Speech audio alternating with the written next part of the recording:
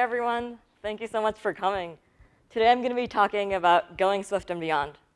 So in 2013, I attended my first WWDC. Well, I didn't actually attend it because I didn't get tickets like everyone else, but I was able to still go to all of the cool events that were happening that week. And one of the events that I went to was the annual CocoaPods meetup, where Matt Thompson, the creator of NSHipster and AF Networking and a bunch of other cool things, gave a talk titled Third Wave Objective-C. And in his talk, he talked about the history of Objective-C, dating all the way back to the NeXTSTEP days, like the NS string, like NeXTSTEP days from, I guess, 1983, which is, wow, 33 years ago now. And the second wave came when Mac OS 10 was introduced and more developers joined the community. And then, last but not least, when iOS came out, even more developers came in as the third wave. And it was kind of like a gold rush, right? Remember all those flashlight apps that were like popular and people actually paid for them? In his talk, he talked about a lot of borrowed ideas. So when iOS came out, a lot of Ruby developers and Java developers, uh, even C Sharp developers, and a bunch of developers from different communities came and joined and introduced best practices like testing and tooling into Objective-C. And then in 2014, Swift was announced. And now we're in the first wave of Swift. And that's really, really exciting. And as we started learning Swift, at least me, like when I was first writing Swift, I was kind of just applying old patterns that I use in Objective-C and just using the new language. But as I got more comfortable with it, I started like experimenting a little bit, and now I realize that there are different design patterns that apply in Swift, and Swift also impacts how we write code as well. So today I'd like to focus on three things. So first of all, how does Swift affect what kind of code we write and what kind of design patterns we use?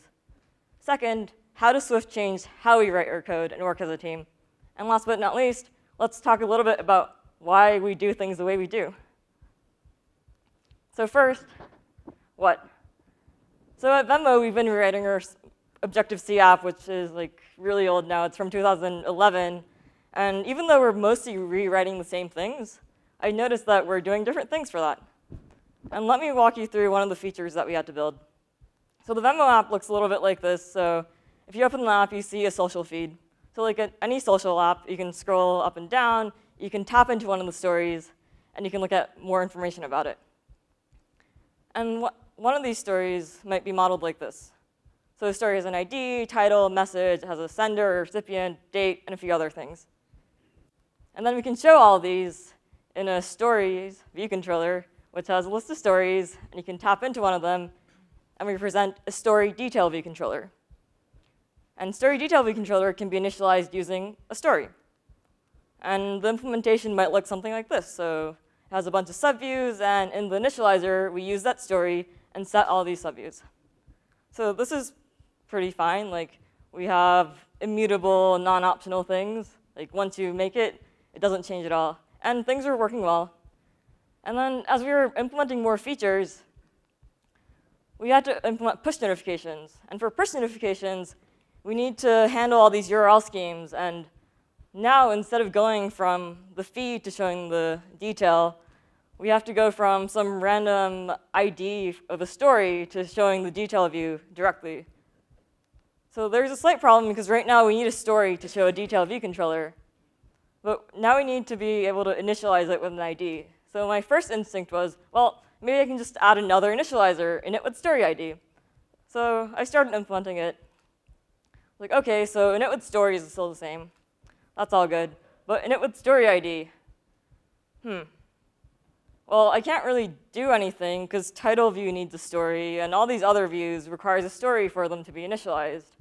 It's like, okay, I guess I can like start making all these optional and set them as null at first, and maybe in the view.did load we can make a call to the API and set all these views, and it'll be fine. But I looked at this code and I was like, well, first of all, these are all optional. And before, like, it was all there when you initialized it. But now there are four optional things. That means there are, what, 16 different ways things can be optional or non-optional. And worst of all, these are all vars, so technically they can be like anything to, to, after it's been initialized. And that kind of sucks. Like if we're making everything vars and everything optional, I could just be writing Objective-C. And I don't want to be writing Swift for the sake of writing Swift. I want to write Swift so I can write better code. So I thought about it a little bit more, and I was like, okay, I have an idea. So I made this thing called the story container view controller. So I just pulled it, put out a parent view controller, and decided to load everything in this parent view controller and make a request in view.load. load. And then when the result comes back with a successful story, then I can create a story detail view controller with that story and set, set it as a child view controller. And that worked great. And now we could just create a story container view controller with story ID, and that worked. But as we were implementing more push notifications, we realized that we had to apply the same pattern to everything else as well. So for example, we might need to show a user's profile. Or maybe we need to show a message from some friend. Okay, wouldn't it be nice if we can make this a little bit more generic? So we defined a protocol, and this is called the remote content, what is it called? Coordinator, it has a really long name. So it has a type alias, so content, and that can either be like a story or a user message, whatever you want it to be. And then this coordinator defines two things. First, how you fetch the content, so you probably want to make the request to the API there. And second, how you create a view controller based on that content that you get. And then an even wordier one. So this one is called Remote Content Container View Controller, and it's ge generic on type T, which is conforming to Remote Content Coordinator. And this thing can be initialized with a coordinator that you want. And in the view.load, load, we ask the coordinator to fetch the content.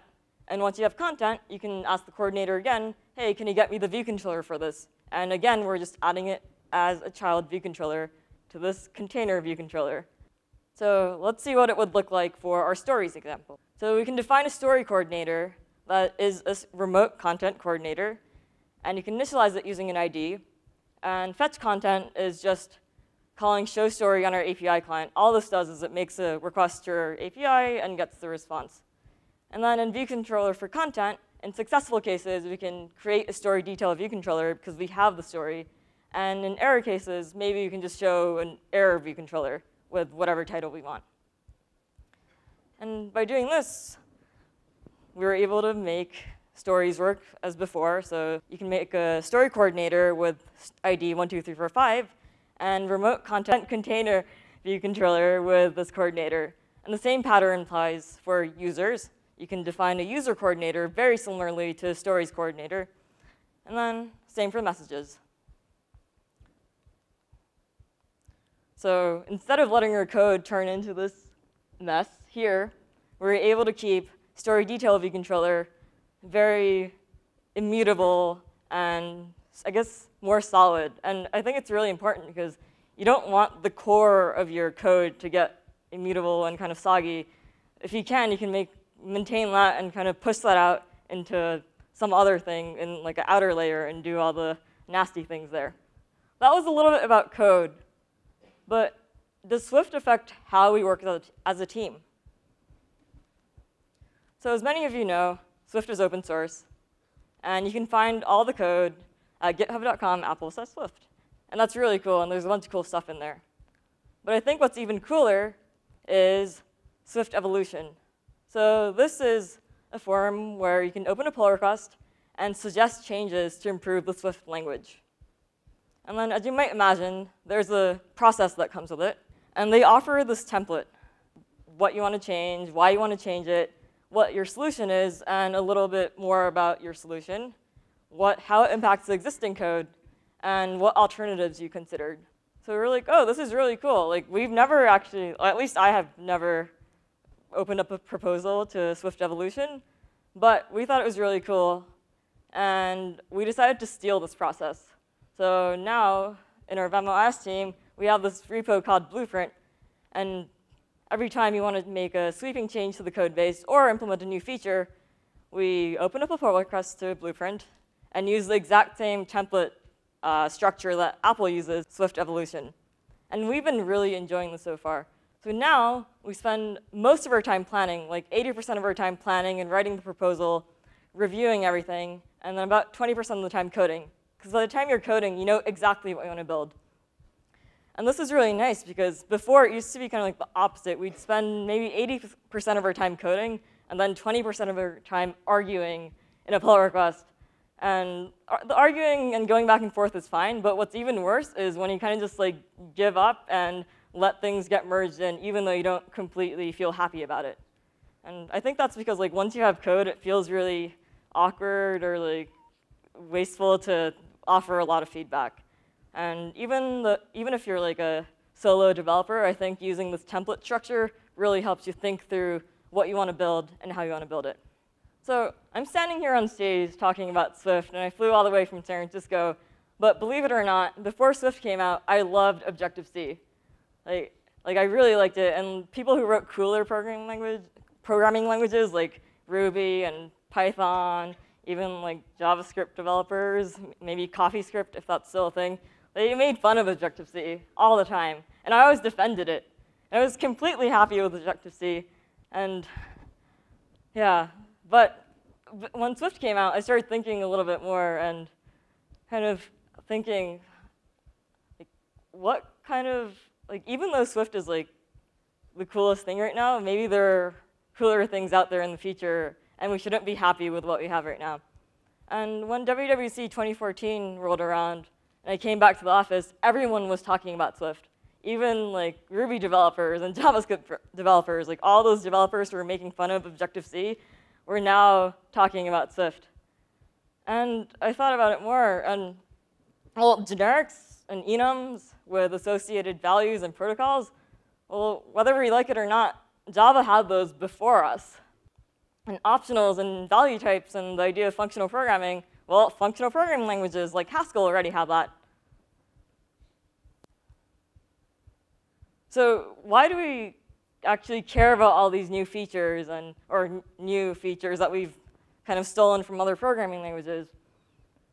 And I think the reason why I like Swift so much is because Swift really makes us focus in on what's really important. Optionals and generics and all those features, it lets us write safer code. And why do we want that? I think that's because we want to ship a great product that users love. And Swift kind of lets us realign or focus on that. And in order to do this, I think we need the best ideas. And in order to get the best ideas, we need a lot of ideas.